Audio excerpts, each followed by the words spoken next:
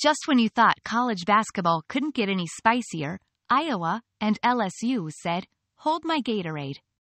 Caitlin Clark wasn't just shooting hoops, she was writing poetry in motion. 41 points, folks. That's like a lot. This wasn't just a game. It was a battle where every dribble echoed the intensity of a national championship duel. Even the mascots looked nervous.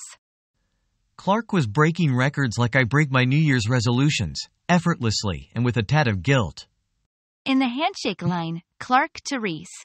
Great game. Reese. You too. P.S. Nice shoes. Because why not add fashion to the mix? With Iowa heading to the Final Four, it's like the whole basketball universe is saying, Buckle up, Buttercup. It's going to be a wild ride.